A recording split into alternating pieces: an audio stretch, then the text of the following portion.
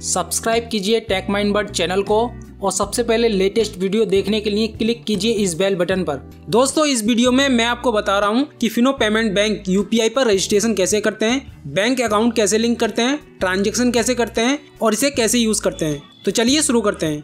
नमस्कार दोस्तों, मैं हूँ उमेश सनी और आप देख रहे हैं YouTube channel tech mind bird मैंने पहले से ही फिनो वीपे ऐप को अपने मोबाइल में इंस्टॉल करके रखा है। आप इसे गूगल प्ले स्टोर से डाउनलोड कर सकते हैं या फिर मैंने इस वीडियो के नीचे डिस्क्रिप्शन में डायरेक्ट डाउनलोड लिंक दे दिया है, उस लिंक पर क्लिक करके ऐप डाउनलोड कर सकते हैं। चलिए इसे ओपन कर लेते हैं।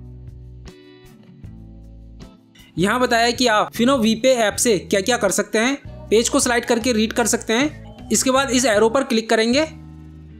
अब यहाँ रजिस्टर पर क्लिक करेंगे। यहाँ मोबाइल नंबर डालेंगे, जिस नंबर से ऐप रजिस्टर करना है, इसके बाद कंटिन्यू पर क्लिक कर देंगे।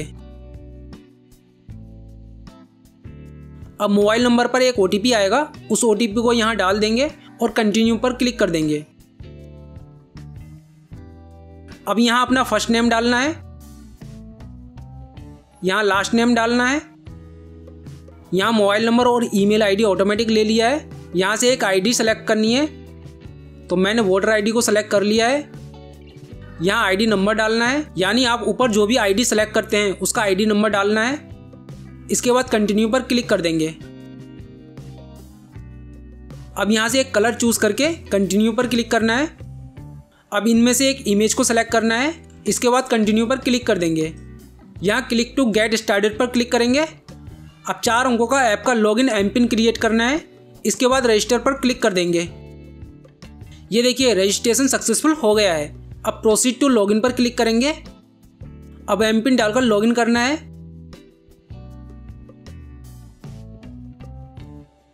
लॉगिन करने पर फ़र्स्ट इंटरफेस इस तरह का मिलेगा।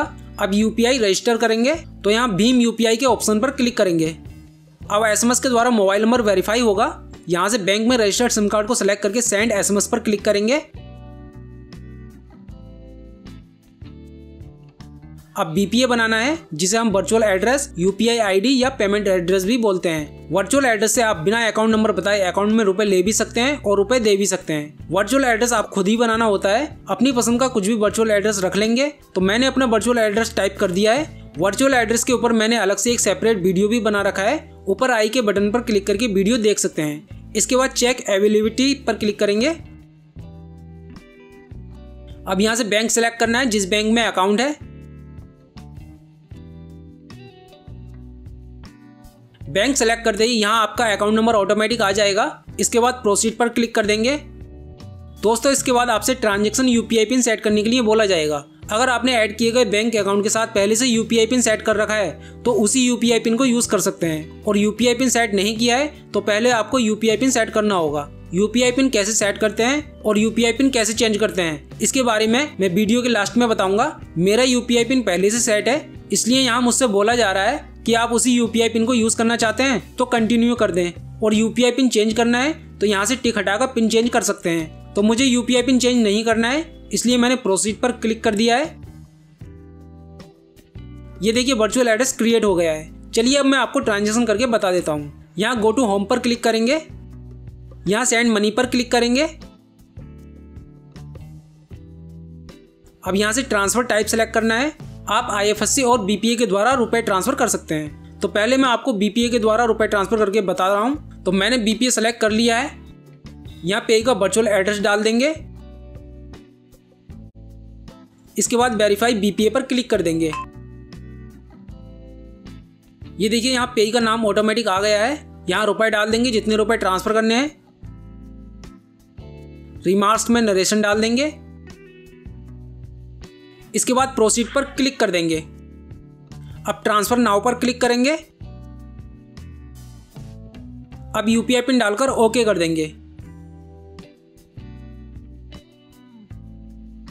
ये देखिए रुपए ट्रांसफ़र हो गए हैं। चलिए अब मैं आपको बताता हूँ कि अकाउंट नंबर के द्वारा रुपए कैसे भेजते हैं। बैक आ जाएँगे। फिर से सेंड मनी पर क्लिक करेंगे। यहाँ क्लिक करके ट्रांसफ़र टाइप सेलेक्ट करना है। अब हमें I F S C select करना है। यहाँ पे का नाम डाल देंगे। यहाँ अकाउंट नंबर डाल देंगे। यहाँ आई कोड डाल देंगे। यहाँ रुपए डाल देंगे। रिमार्क्स में नरेशन डाल देंगे। और ट्रांसफ़र नाव पर क्लिक कर देंगे। अगर बेनिफिशरी सेव करना है तो यहाँ टिक कर देंगे और फिर ट्रांसफ़र नाव पर क्लिक कर देंगे। अब यूपीआई पिन डालकर ओके कर देंगे।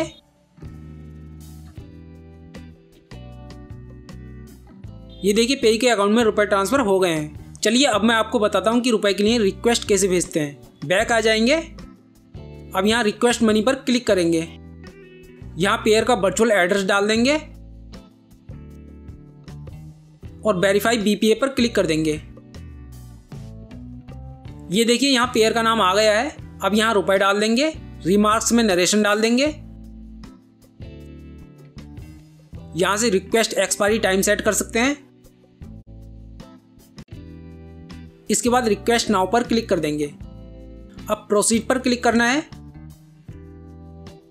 ये देखिए रिक्वेस्ट चली गई है। अब पेयर जैसे ही रिक्वेस्ट को अप्रूव करेगा तो उतने रुपए आपके अकाउंट में क्रेडिट हो जाएँगे। चलिए अब मैं आपको इसके बाकी के ऑप्शन के बारे में बता देता हूँ। बैक आ जाएँगे। यहाँ पर क्लिक करके रिक्वेस्ट मनी नोटिफिकेशन चेक कर सकते हैं। आप जो भी रिक्वेस्ट भेजेंगे, वो सेंड में दिखाई देगी। और कोई आपको रिक्वेस्ट भेजेगा तो वो रिसिप्ड में दिखाई देगी। यहाँ क्लिक करके आप ट्रांजेक्शन हिस्ट्री देख सकते हैं। हमने अभी जितनी भी ट्रांजेक्शन की हैं, वो सब यहाँ पर शो हो रही हैं। अब यहाँ मैनेज पर क्लिक करेंगे। यहाँ पर क्लिक करके आप और भी बी पी ऐड कर सकते हैं। यहाँ क्लिक करके बी पी मैनेज कर सकते हैं। यहाँ क्लिक करके बी पी डिलीट कर सकते हैं। यहाँ पर क्लिक करके U P I PIN change कर सकते हैं। और यहाँ क्लिक करके U P I PIN reset कर सकते हैं। दोस्तों, इस वीडियो में बस इतना ही। अगर वीडियो पसंद आया हो तो लाइक करिए शेयर करिए, और अभी तक हमारे चैनल को सब्सक्राइब नहीं किया है तो सब्सक्राइब कर लीजिए, और साथ में बेल आइकन पर ज़रूर क्लिक करिएगा, जिससे हमारी आने वाली हर न्यू वीडियो की नोटिफिकेशन आपको सबसे पहले मिल सके। Thanks for watching this video